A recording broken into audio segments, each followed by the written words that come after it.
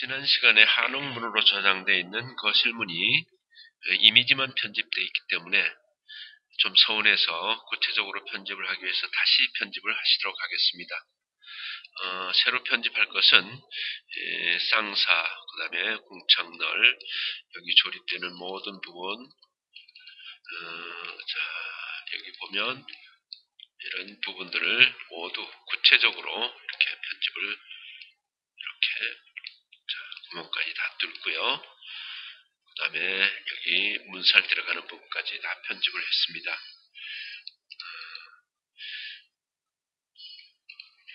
그래서 편집되어 있는 그 옆부분에다가 약간 옆으로 이렇게 밀고요. 사각형 도구를 이용해서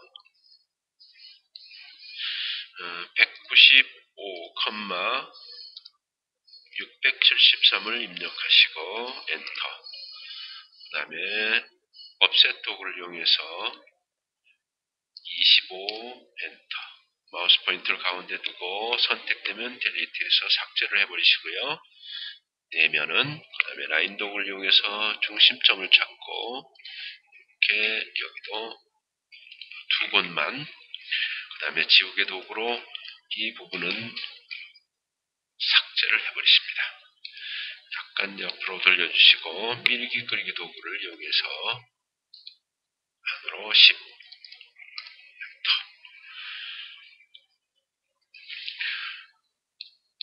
지난 그 낱말을 편집할 때 쌍사를 새겼습니다만은 그때는 일일이 각 부제마다 따로따로 편집을 했습니다만 이번에는 한꺼번에 하는 방법을 설명해 드리겠습니다. 줄자독을 이용해서 0.5, 그 다음에 1, 위에서 안내선 하나 찾아서 중심선을 찾아주시고 중심으로부터 위로 3, 그리고 다시 5, 아래로도 대칭으로 역시 3, 그리고 5의 안내선을 만들어 주신 다음에 라인 도구를 이용해서 여기서 여기를 거쳐서 그리고 ES10k로 단절시키고 여기서 다시 출발해서 여기 그리고 여기서 끝매짐을 하고 ES10k로 단절. 그 다음에 홀을 선택하신 다음에 여기서 여기 그리고 당겨주시고 여기서 위로 당겨서 선택키로 바꾸시고 여기 그 다음에 Shift키 누르고 여기 안쪽만 안쪽 라인만 선택을 합니다. 이렇게 안쪽 라인만 선택을 한 다음에 아까 쌍사를 새긴 부분에서 따라가기 도구를 그 부분에 클릭을 하면 동시에 이렇게 한꺼번에 다 새겨집니다. 에, 이제 라인 도구로 여기에서부터 여기까지 연결을 시켜주시고 선택기로 바꿔서 이 부분은 선을 삭제를 해주십니다. 뒤로 돌리셔서 라인 도구로 바꾸시고 다시 이 코너에서 여기까지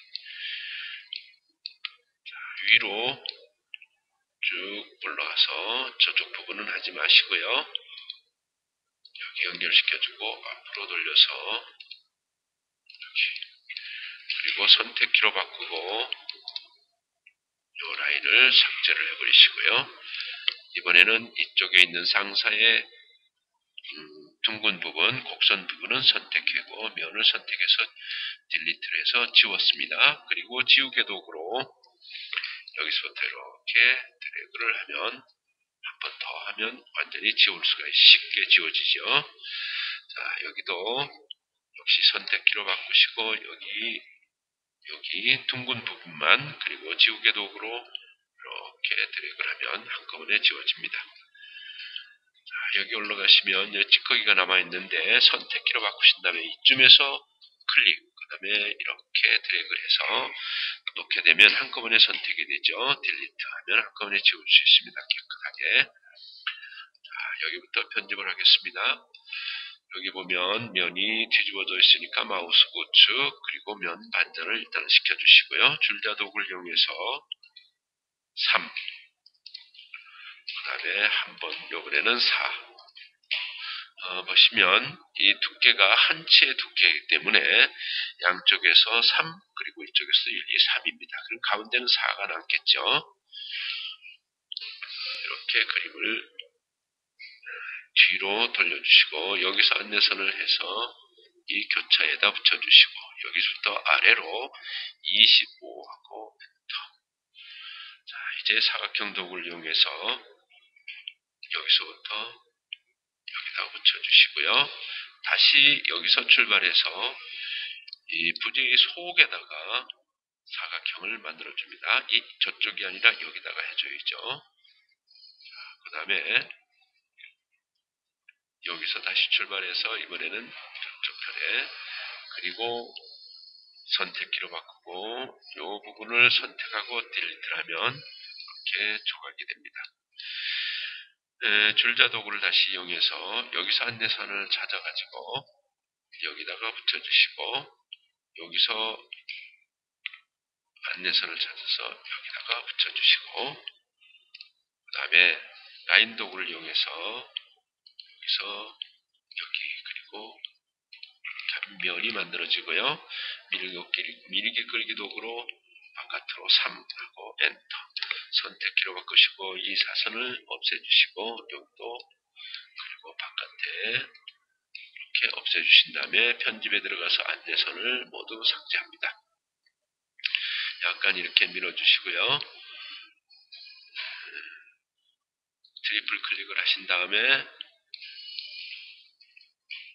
마우스 우측 그룹 만들기를 하시고 더블 클릭 다시 편집 상태로 들어간 다음에 여기서 다시 triple 클릭을 해서 모두를 선택하고 이동 도구를 선택한 다음에 복사를 하나 해서 안쪽에다가 겹쳐지지 않도록 놓고 마우스 우측 대칭 이동 여기에서는 파란 방향 그리고 여기 끝점을 잡고 끝점에다가 정확하게 붙여주십니다. 이제 지우개 도구를 이용해서 이어진 선을 삭제를 하시는데 이런 부분 여기 자, 여긴 축선이기 때문에 안 지워지는 거예요.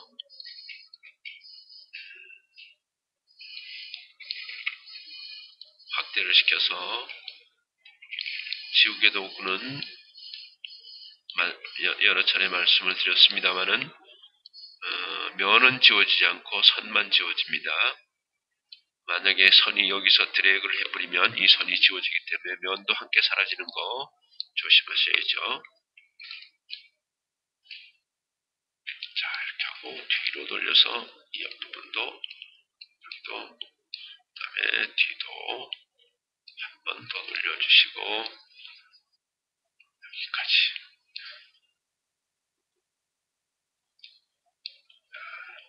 이렇게 하시고 바깥에 클릭 자, 그러면 이렇게 만들어졌죠 자, 여기를 triple 클릭을 하시고 마우스 우측 그룹으로 만드신 다음에 이동 도구를 이용해서 Z축에다 대고 복사를 하나 해서 정확하게 Z축으로 따라 올라가야 됩니다. 135에다가 하나 갖다 놓으시고요. 예, 그거는 거기다 두시고 그 다음에 얘는 더블 클릭을 해서 편집 상태로 들어가시고 이렇게 뒤로 돌리시고 라인 도구를 이용해서 요 코너에서 쭉 Z축으로 파랑축이죠. 라인을 하나 연결시켜 주시고 밀기 끌기 도구로 이 부분을 세치를 밀어 넣습니다.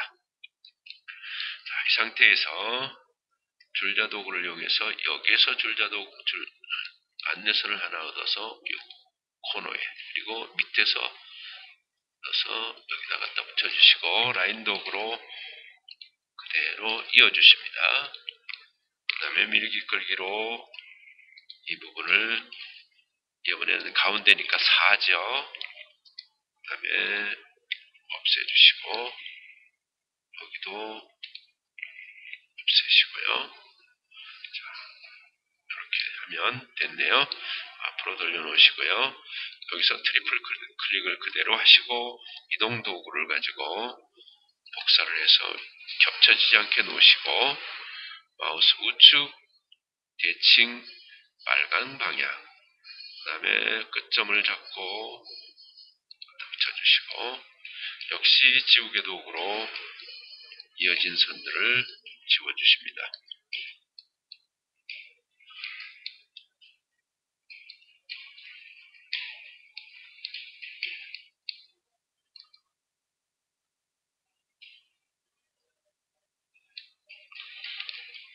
지우실 때 지우개 도구는 선이 어, 지우지 않아야 될 선을 지나가지 않도록 조심하시면서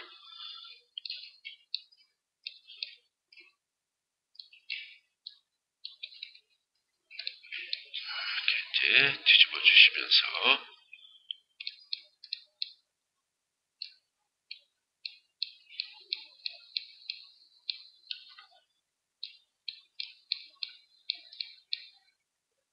바깥에 하시고요. 그러면 이렇게 정확하게 이어졌습니다. 에, 편집에 들어가서 안내선 삭제하시고요. 다음 시간에 계속해서 편집을 해드리겠습니다. 다음 시간에 뵙겠습니다.